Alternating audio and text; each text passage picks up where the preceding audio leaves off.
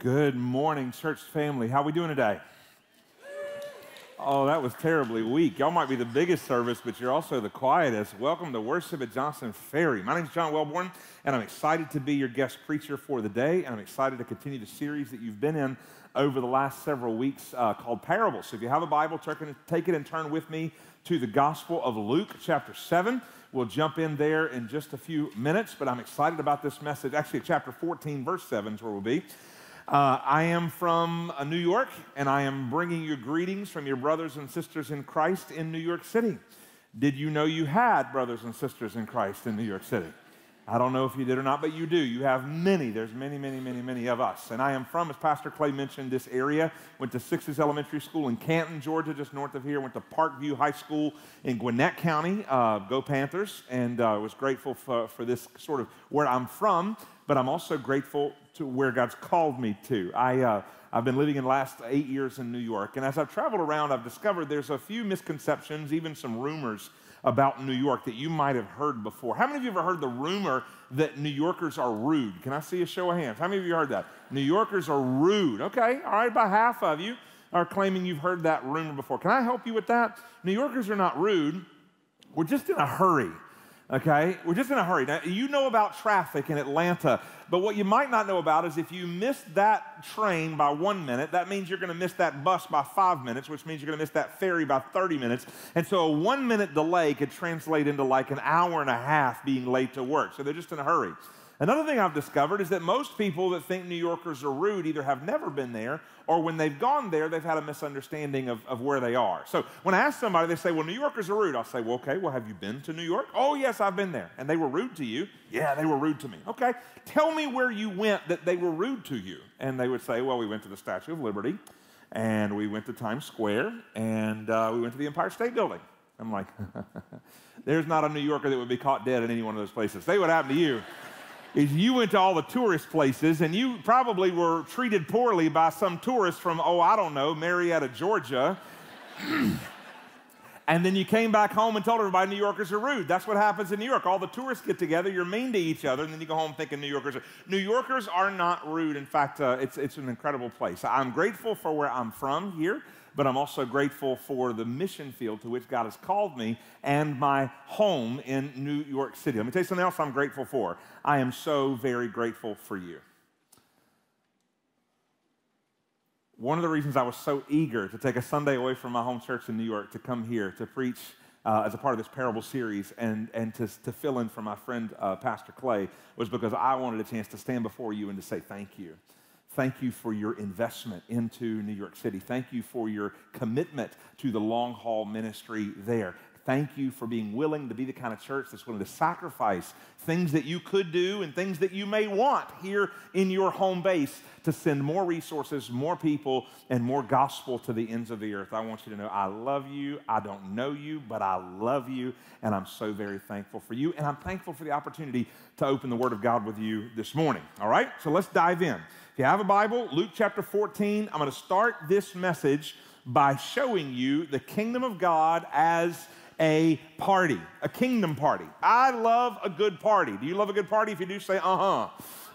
we always love good parties. I mean, how could you not love a party? The food's on point, the host has done a good job to make it a lot of fun, all the right people are there. Men, you can relate to this. We think it's a good party if there's something to do. Women can enjoy a good party and just talk to each other the whole time, but men, we need something to do. We need a dart to throw. We need a fire to poke, right? We need a game to watch. If a man's going to enjoy a party, we need something to do, right, guys? It can't just be standing around looking at each other, all right? We're not that attractive, so you got to have something to do. Well, good parties are all over the Bible. Do you know that? Eh, you do do this sometimes. Go to the Bible and try to try to find out how many parties Jesus attended. Every time you turn around, you find Jesus going to a wedding feast. You find Jesus going to a, a, a you know, to a, to a, a celebration, to a, uh, to, to a, gathering, to a, he was a party, he's a party animal, quite frankly. Jesus went to party after party after party after party. In fact, he went to so many parties, there were times he was accused of excess. He was accused of excess, too many feasts, too many parties. Listen to Matthew 11. For John came neither eating or drinking, and they said he has a demon. But the Son of Man came eating and drinking and said, Look at him, a glutton and a drunkard, a friend of tax collectors and of sinners. Yet wisdom is justified by, uh, by her deeds. See, Jesus loved parties, especially, especially when that party would include the outcasts, when that party included people nobody else wanted. Jesus loved a good party, especially if it gave him a chance to make a point and to minister and to teach. Now, before all of you teenagers, I'm told the students are over here. Is this the youth over here? Teenagers, you guys, give me a thumbs up. You guys good? Good to have you over here. Before you use this to go to your parents and say, All right, mom, let me go to the party, Jesus loves parties. Amen? The preacher just said it. I'm supposed to go to parties to be Christ like. Okay, I understand the point, but let's, let's be careful about that because Jesus went to the party with a plan. Like he kind of went to the party with a plan. He went to the party and he would drastically change the dynamic. He would do something unique to challenge people, to teach people, and to do something special. It certainly wasn't to let loose or act crazy. He had a point to make. One of the amazing things about Jesus and parties is how many times Jesus likened the kingdom of heaven to a party. How many times Jesus said, The kingdom of heaven is like a wedding feast, the kingdom of heaven is like a great banquet. We're going to see in just a moment. Jesus uses a party to make a point about the kingdom of God. Whenever you think about the kingdom of heaven or the kingdom of God, is a party what comes to mind to you? It wasn't to me to begin with. When I think of the kingdom of heaven, a lot of times what came to mind to me years ago was, well, there's a set of rules, right? The kingdom of God is about what to do and what not to do. And if you're going to be a part of the kingdom, then you have to not do those things and do, do those things. When I think about the kingdom of God, I, I, sometimes I think about the kingdom of heaven. I think about, okay, we're going to go to heaven one day and we're going to sit on a cloud and strum a harp and, you know, just sing to each other forever and ever and ever. And that doesn't sound like heaven or a party to me.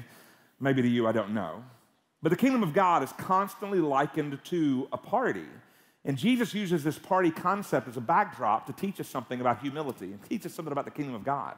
Let me give you the context to, to this passage in Luke chapter 14.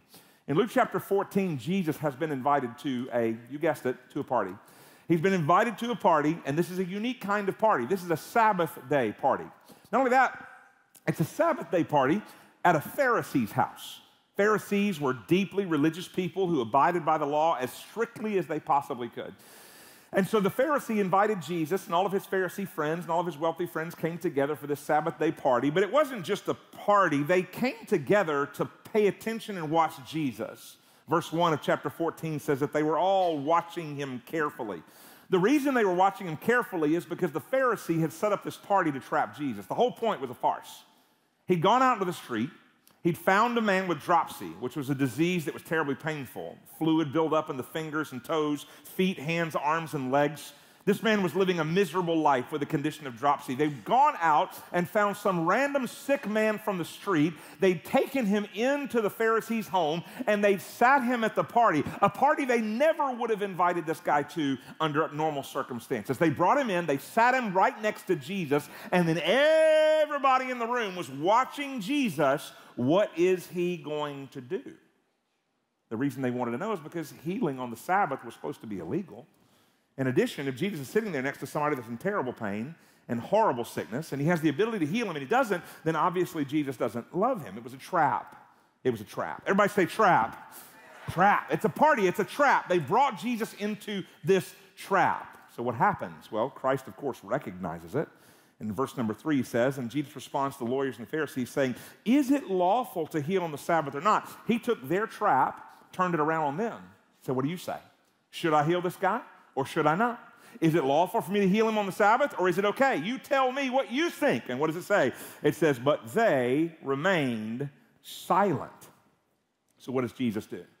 The scripture says, Then Jesus took him and healed him and sent him away. Probably the guy wanted to leave from the beginning. He didn't want to be there to start with but Jesus healed him and sent him on his way. You see, that's the kind of stuff Jesus does at parties. That's the kind of things Jesus does to illustrate the kingdom of heaven. The title of my message today for you is this is a kingdom party. But another title for the message today could be, could be this. I could, I could have entitled the message, Jesus makes parties awkward. Amen? right? Or how about this? Jesus ruins parties every time. He shows up and points things out, and then nobody's having any fun anymore. But today I want to show you a kingdom party from Luke chapter 14. At our church in New York, we do this. I hope you'll join me. If you're physically able, would you stand with me now out of respect for the reading of God's word? Starting in verse number 7 from Luke chapter 14, Let's hear from the Word of God. Now, he told a parable to those who were invited when he noticed how they chose the places of honor, saying to them, When you are invited by someone to a wedding feast, do not sit down in a place of honor, lest someone more distinguished than, more distinguished than you be invited by him, and he who invited you both will come and say to you, Give your place to this person, and then you will begin with shame to take the lowest place. But when you are invited, go and sit in the lowest place, so that when your host comes, he may say to you, Friend, move up higher. Then you'll be honored in the presence of all who sit at the table with you. For everyone who exalts himself will be humbled, and he who humbles himself will be exalted. He said also to the man who had invited him, When you give a dinner or a banquet, do not invite your friends or your brothers or your relatives or your rich neighbors, lest they also invite you in return and you be repaid. But when you give a feast, invite the poor, the crippled, the lame, the blind, and you will be blessed because they cannot repay you, for you will be repaid at the resurrection of the just. Let's pray together. Heavenly Father, we thank you for the reality that your kingdom is a party. It's a party with specific people invited and specific people hosting. And Lord, it's a party that we all want to be a part of. But God, all of us live in tension because we want to have our party. Uh, what we'd like to have there, who we'd like to have there, and what we'd like to have going on. And so we live in tension, Father. We live in this constant state of conflict with our flesh and the spirit. So today, in the few minutes we have in the Word, I pray that you'd lead us to a place of confidence that your kingdom party is where we want to be, and your kingdom party is what we want to facilitate on earth as it is in heaven. And it's in Jesus' name we pray. Amen and amen. Thank you. You can be seated. The main idea of the message I have for you today is this a kingdom party, it requires humility for all involved. A kingdom party requires humility for all involved. And there are two groups of people that Jesus talks to in these two parables that I think you're going to relate to. The first group of pers- people that he talks to are the guests, and Jesus calls for humble guests. A kingdom party requires humble guests. Jesus observed something unique as this party was getting started. He noticed that when the doors opened to the dining room or the doors opened to the party hall, people would shove in and go as fast as they could to get the front of the room. They wanted to sit next to the host. Because the closer you were to the host, the more important you were. The closest you were to the one who was most important in the room made you more important. So if you were going to get in the room, you would want to push your way to the front to sit as close to the host as possible so everybody at the party would know just how important you were. This was cultural capital at that time. Everyone was trying to level up. And in order to level up, you needed to be in the right seats at the right party so that you could establish your social standing. What Jesus said instead was, hey, everyone here, again, Jesus ruins parties. Hey, everybody here who shoved up to get to the front of this party, here's what you should do instead. Instead, you should have sat in the back of the party, the back of the room, and then if you were important enough that the host wanted you up to the front, then they would have come and invited you. Instead, some of you got humiliated because you took a better seat, but you got demoted to a lesser seat because you're not as important as you think you are. Again, Jesus makes parties awkward. Amen very, very awkward. It, it, the fact of the matter is, if you get invited to honor, that's great, but never presume it. Never presume it. Albert Einstein once says, try not to become a man of success, but instead try to become a man of value. A great preacher from last generation, Adrian Rogers, once said, Worry about your character, but let God worry about your reputation. That seems to be what Christ is emphasizing here. In the book of Proverbs, King Solomon addresses this same concept in verse 6 of chapter 25 when he says, Do not put yourself forward in the king's presence or stand in the place of the great, for it is better to be called, Come up here, than to be put lower in the presence of a noble. And Jesus' point is quite simply this if we're going to have a kingdom party where the kingdom reigns and the kingdom rules, And that means guests must be humble.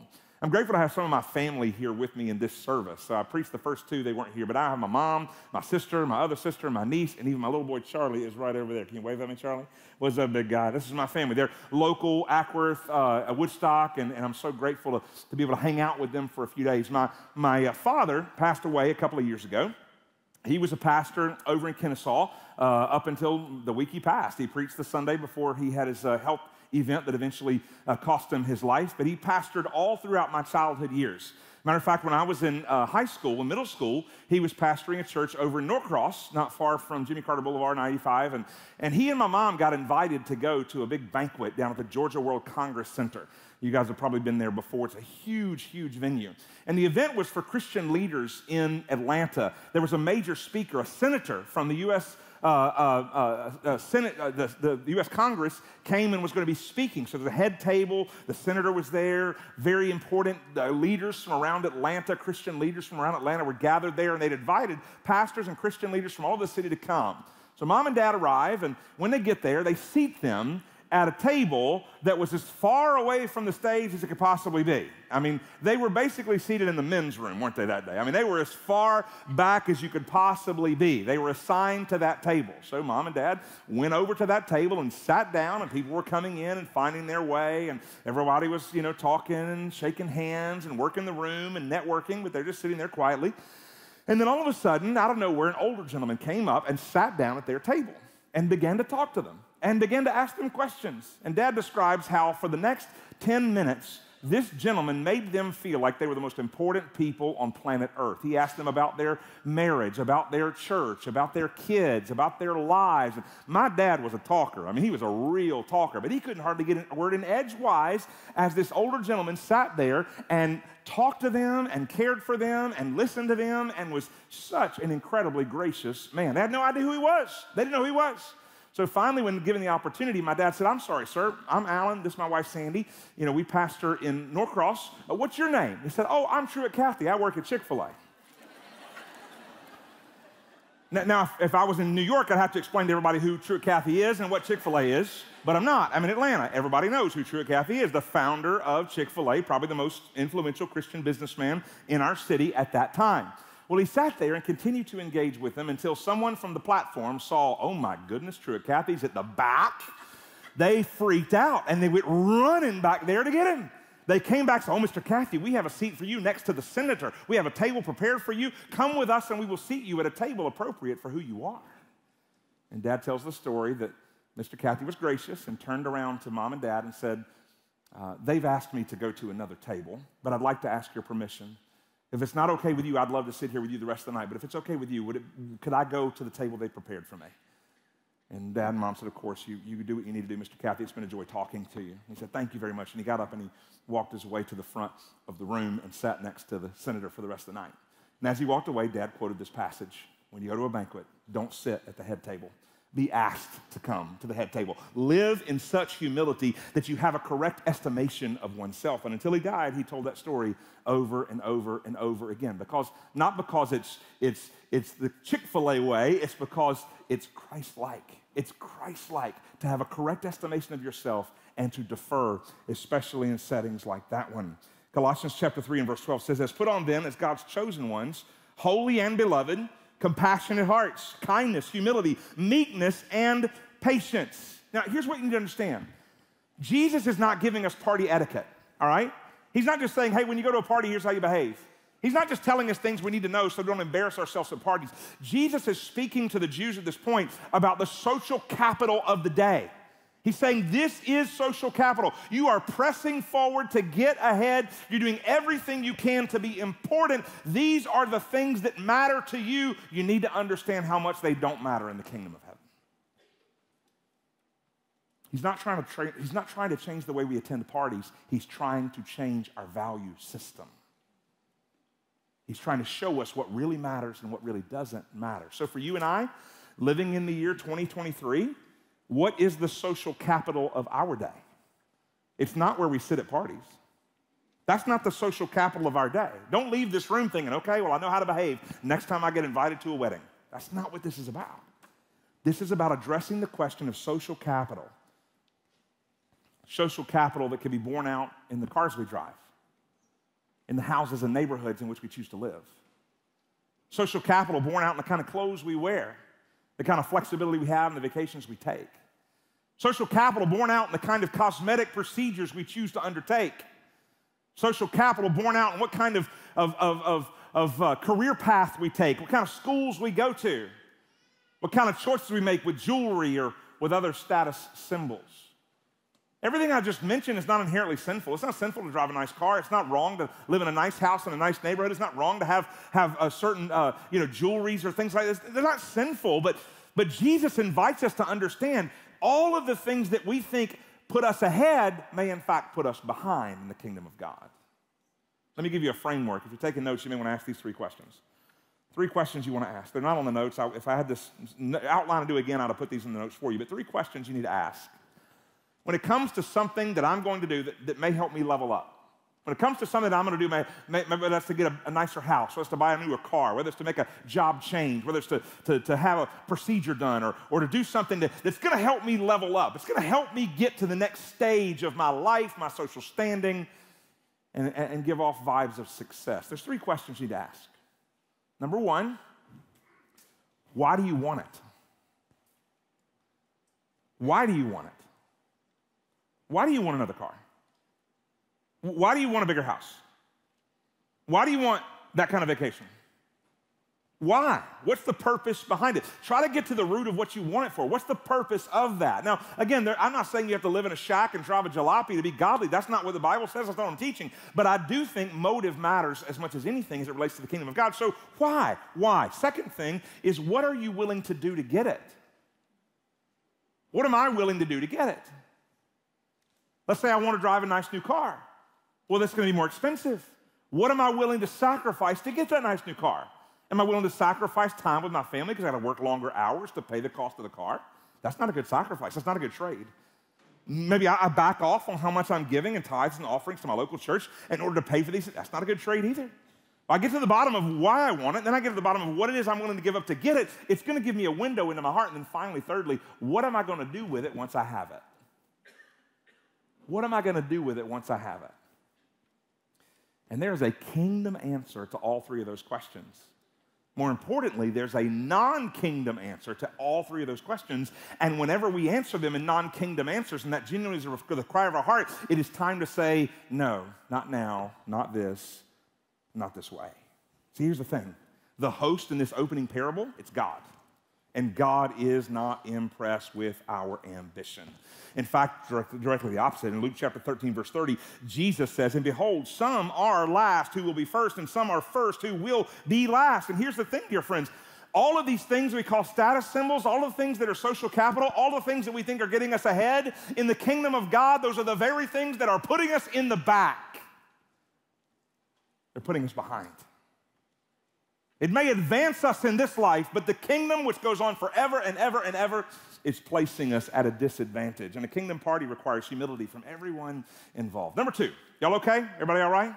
They told me 11:30 was the most rambunctious, exciting crowd, you know, but I feel like I'm kind of, I'm kind of, kind of feeling you kind of, you know, kind of shrink back a little bit. I'm not, I'm not smacking you around. I'm a, I'm a guest preacher, which means I get to, I get to come in here and create all kinds of problems, and I get to go back to New York, and your pastor gets to solve all of them. Okay, so that's the joy of being a guest preacher. All right, so y'all join me in that. Number number two, first kind of uh, participant in a kingdom party is a humble guest. Secondly, talks about humble hosts, verses 12 through 14. See, while Jesus is making the party awkward, while Jesus is ruining the party and making it more of a kingdom party, he turns his attention to the host. So he talks to the guests, and now he talks to the hosts. He's invited, the host has invited all of his rich friends, except that guy with dropsy, everybody else. He's invited all of his rich friends. Why did he invite rich friends to his party? Well, because he was either paying them back for a party they had invited him to, or he was trying to get them in his debt so that they would invite him to their parties in the future. And Jesus says to the host, that's the wrong way to go. If you're going to have a party, don't invite those people who are the most important, the most influential, the most wealthy. If you're going to invite, I gotta have a party, you need to invite people who can never repay you. You know why? Because if you serve, if you love, if you are generous to people that can never give it back to you, guess what you have? You have stored up treasure in heaven. That's what you've done. But to do it the way you're doing it, by just inviting people that can invite you back and just blessing people who can bless you back, you have basically guaranteed you have gotten your reward and you've gotten it now and you've gotten it in full. But here's the thing the Jews living in Jesus' day would have said to Christ, that is financial suicide right there, because back in those days, that's where business was done. Business was done in parties. Business was done around a table. Business was all about who you knew. And so in these parties, it wasn't just food and drink and fun, it was business deals going down. People were brokering major, major deals. And so to avoid that and to reject that mechanism of, of doing business, they would say is like financial suicide. It's definitely social suicide. There's no way to level up without playing the game as it relates to parties. And Jesus says, don't play the game and forget about leveling up. They had a mindset that was wrong. They thought that whatever they gave to the poor was gone forever. They thought that whatever they sacrificed for the kingdom of God, it was gone to them forever, but it wasn't. In fact, it wasn't. Jesus wasn't calling them to poverty, Jesus was calling them to a wiser investment. A wiser investment. About 170 years ago, it became clear it became clear that the Confederate States of America were going to be dissolved. Civil War was coming to an end, the Union was going to win, and therefore the CSA would no longer exist.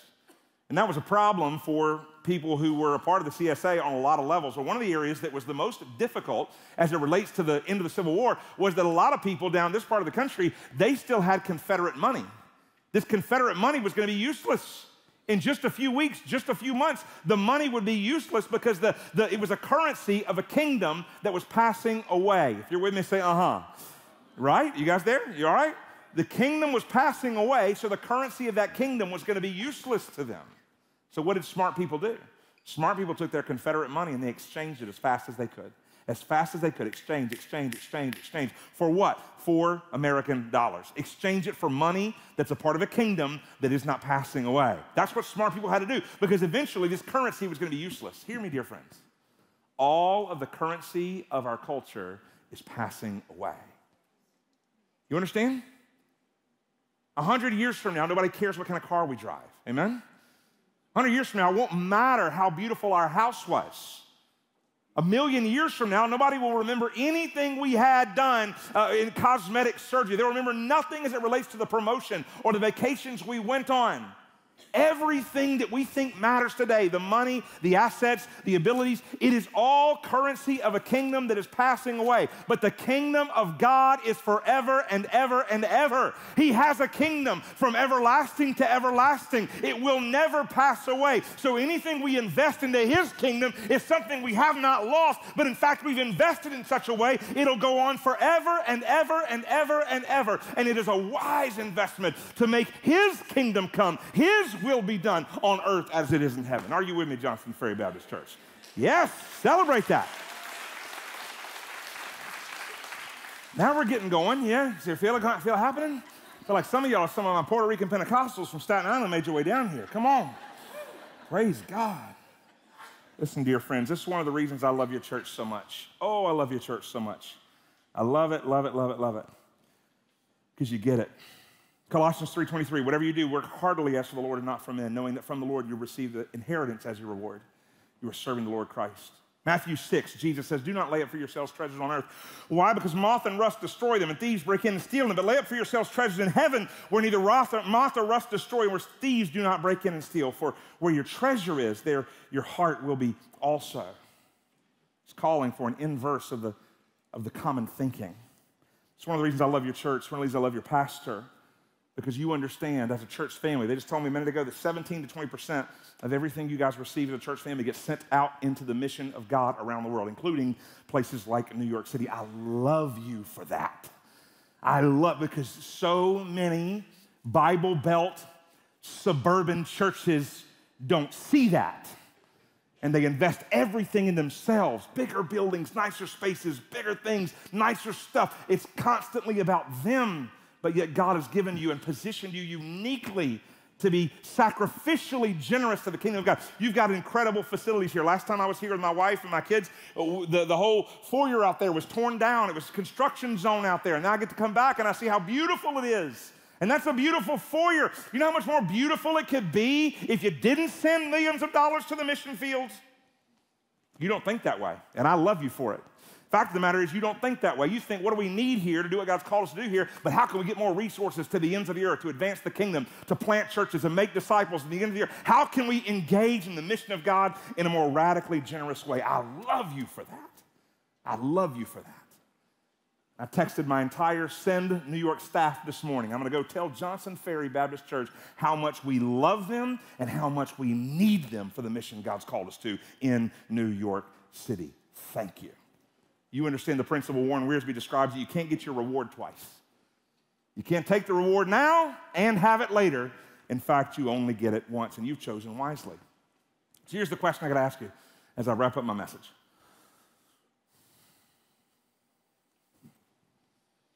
What is it exactly that God is calling you to offer on the altar as a sacrificial gift to his kingdom. Another way to say it is this What is your social standing that is the equivalent of a Jew inviting wealthy people to his party so he can get invited for their party, or another person jockeying their way to the front of a party to show how important they are? What is it that God is calling out of you and me that we would be sacrificing for his kingdom's sake to make our party more of a kingdom party? I grew up in kind of southern mega church culture. I was ordained at a massive church in the north side of Atlanta, not far from here, licensed there as well. I was sent off to Liberty University, trained very, very well, Bible, theology, preaching, all those things. I'm grateful for where I came from, but I, I believed some things that were not healthy in the early stages of my life and ministry. I believed early on that there are markers of success for a pastor. And those markers were more people coming to hear me preach. Those markers were a bigger church to call my own. Those markers were, were, were, were hundreds and hundreds of baptisms. Those markers were book deals. Those markers were speaking invitations at the circuits. I, I believed some things growing up in a certain culture that just simply weren't true. That the markers of success for a pastor or a preacher or a minister were things that were very, very tangible, touchable. It wasn't so much about faithfulness. You wanted to be faithful, but it was almost like, well, if you are faithful, then everything you touch will explode with growth and be massive. And I believe that. And God called me when I was 27 years old to pastor a little church in the poultry capital of America, and it smelled like it too. we moved to Harrisonburg, Virginia, and, uh, and to a little church of 90 people. and it was a struggle, a challenge. Very, very difficult season of ministry. But even in the course of that, God blessed it. It began to grow. And before long, what came? The buildings came, and the crowds came, and the opportunities came, and all those kinds of things. And stuff was beginning to move, and it was starting to materialize. Everything I believed and learned as a teenage and young, young adult preacher boy yeah, you do it, you do it right, it's going to grow, it's going to blow up, it's going to be huge. And these are the markers of success. These are the markers social standing. And the Lord began to stir my heart and my wife's heart about the possibility of relocating into the city of New York. Step into a church that was 120 years old, had a building that was about 70 years old, had 56 parking spaces. 56 parking spaces, which that is a huge parking lot where I come from, by the way. It's a really big one. We've never seen parking like this out here. Like, we don't know what to do with that. I, I parked over in Alabama to walk to this building today. We don't know what to do with that. But listen, dear friends, I, I, we began to pray through that, and, and things became clear to me as I was praying through this call to New York City. And that was every single thing I'd ever considered to be a marker of ministry success was going to be completely unattainable and most likely impossible if I said yes to God's call on my life to move to that city.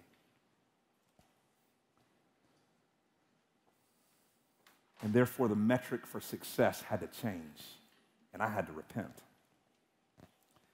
God called Ashley and I to lay on the altar of God everything we'd always ever equated with success and say, we don't care if it ever comes true or not. We want to be obedient to you, and we want to advance the kingdom as an act of worship. Look at me, dear friends. How have you gauged success? And are you ready to surrender it to God as an act of worship to advance His kingdom instead of your own? That's what a kingdom party looks like. You know, your pastor is one of the, my favorite preachers. He's a phenomenal expositor. You know that about Clay. He's incredible. I listen to guys that are older than me. I listen to some guys that are around my age, and Clay's around my age. I listen to guys that are behind me too. But of the guys that are my age, I love listening to your preacher as much as anybody. He's an incredible, incredible preacher. And one of the things that an incredible preacher knows what to do is how to conclude a message, right? How to, how to wrap it up. And usually there's a really good visual, there's a good illustration, there's something that gives us a really good description, kind of wraps it all up, a nice story, something that's very, very emotional, maybe, very vivid. And, and I was looking for one for this message. I was looking for one. I want to get down there to Georgia. I want to preach to my friends at Johnson Ferry. I want to have a good concluding illustration. So I looked in books and I read articles and I went to the search and I, I, I just did all I could think of to come up with a really good, really good concluding illustration, and I really couldn't. So I went to the Lord in prayer. I'm like, God, I got to help me. I don't know how to wrap up this message. I know they're going to want, want me to wrap it up, but I don't know how to wrap it up. And he, he kept pointing me back to something very powerful. He kept pointing me back uh, to Jesus. He said, John, if you're talking about humility, there's no greater example than Christ. If you're talking about someone who laid aside prerogative, there's nobody better than Jesus. Jesus said about himself in Mark chapter 10, verse 45, he says this, For even the Son of Man did not come to be served, what? But to serve and to give his life a ransom for many. You understand there's nobody in the world that deserved to be served more than Jesus. If you're with me, say amen. Nobody deserved to be served more than Jesus, but nobody was quicker to sit at the table in the men's room faster than Jesus. Amen? It's Jesus. Paul describes Jesus in his incredible humility in Philippians chapter 2. Powerful, powerful. Paul's describing the humility of Jesus. He's describing just how amazing he is, not just in the example that he gives. Jesus is our example of humility, but he's also the one that gives us the power to be humble. Notice what he says when he says this do nothing from selfish ambition or from vain conceit. Instead, in humility, count others as more significant than yourselves. Look not each one only to his own interest, but also to the interests of others. Church, would you read out loud this bolded verse 5 with me all together from the back of the bleachers to the front row, nice and loud? One, two, three, ready? Have this mind among yourselves, which is yours in Christ Jesus. The humility of a kingdom party is not something you work on, it's not something you muster up. It's not something you bring about by self will, it's something that Jesus gives to you when he saves you, and you just need to surrender to it. It's yours. It's yours. It's yours in Christ Jesus. He goes on to describe Jesus, who, though he was in the form of God, he did not count equality with God a thing to be grasped, but he emptied himself, taking on the form of a servant, being born in the likeness of men, being found in human form, he humbled himself. I become obedient to the point of death, even the death of cross. Thank God he did. Amen. Thank God Jesus humbled himself. Amen. Church, do you know the importance of Jesus humbling himself? The importance if he doesn't, if Jesus does not humble himself, if he does not go to the cross, then guess what? We have no hope. We can't be saved. We can't be forgiven. If Jesus does not set aside his divine prerogative and go to the cross and pay the price for our sins, if he does not rise from the dead three days later, then you and I are to be pitied above all people. Our faith is in vain. Our preaching is in vain. We have nothing. We are completely hopeless without the humility of Christ Jesus, willing to die in our place and on our account. Jesus humbled himself. And he calls us to humble ourselves. Kingdom party requires humility for all who are involved. So here's my invitation, and I'm done. If you're here today and there's never been a time in your life where you've turned from your sin, placed your faith and trust in Jesus to save you, then you're being called to humility. To humble yourself, to say, Yep, I can't save myself. There's no way there's no way I can forgive myself. There's no way I can, I can change my life on my own. Humble yourself enough to say, I need Jesus. For those of you that are here that have been saved, I was saved February 21st, 1993, at Little Baptist Church in Canton, Georgia. From that moment, some 30 years ago, till this moment, every single day is a battle.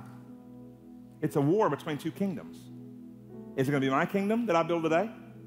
Or is it going to be his kingdom that I build today? Is it going to be my kingdom come, my will be done? Or is it going to be his kingdom come, his will be done on earth as it is in heaven? And it's only through humility are we laying aside our definitions of success and our kingdom and saying, Lord, by your grace and for your glory, It's about you. It's about you. Father, in Jesus' name, I thank you for the privilege of bringing the word to my, my friends and brothers and sisters here at Johnson Ferry Baptist Church today. God, I thank you for the awesome privilege it is to, to play a part in this series about the parables of Christ Jesus. And Lord, I thank you for the incredible gift your word is, and even greater gift your son is. So, Lord, in Jesus' name, would you lead us to a place of even more kingdom humility, not false humility, but kingdom humility. And that we would lay aside our own definitions of success and instead take up the mantle of Christ Jesus and his humble servitude to you and to your purposes. And Lord, that you make us a kingdom people, a kingdom party every time we gather, where the last shall be first and the first shall be last.